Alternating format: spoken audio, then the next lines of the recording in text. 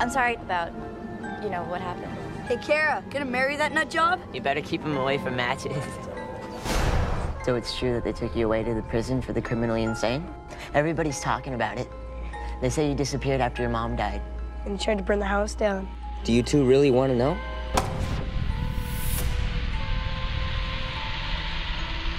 The fire took down most of our house. Not a human.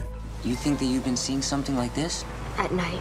Something that you can't see and you can't read about. You can only hear about it or learn about it as it attacks you.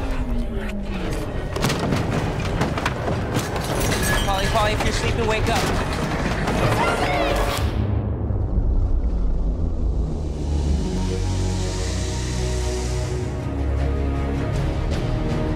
We're gonna have to get closer than we've ever been before, sooner or later.